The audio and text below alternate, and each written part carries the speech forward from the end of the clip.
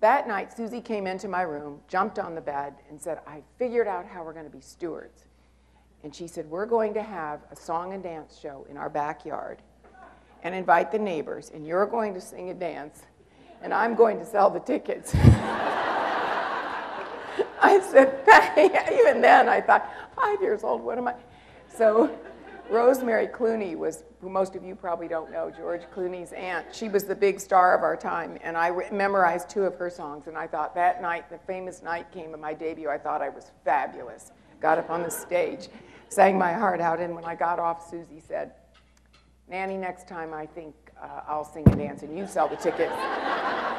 so that's how I became a fundraiser. In any event, Little did I realize and know, and we worked through many of these events, and we always enjoyed it all of our young life, and until Susie went away to college and I went a different direction. And little did we ever realize that when Susie was 33, she'd be diagnosed with breast cancer. It was, they were words you didn't speak aloud in 1978 very often, and particularly not a town like Peoria.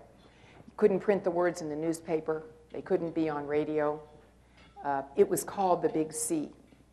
People hid in the shadows, and you were ashamed if you were diagnosed with a disease like this, and probably let go from your job if you had one.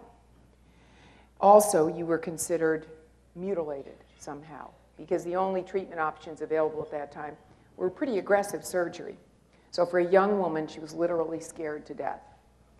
I was living in Texas at the time and tried to do everything I could to get her to come and get another opinion, but it was so difficult for her. It was culturally unavailable to her for her thinking. Finally, we did get her to a comprehensive cancer center, but it was far too late. And right before she died, and we had been through this journey together, my mother and my sister and I, she looked at me one night and asked me and said, Nanny, you have to promise me that you'll help me end breast cancer. And I promised her I would. And I said, I'll, I'll do it for the rest of my life if I need to, but I promise you I will do it. And that's how the promise was made.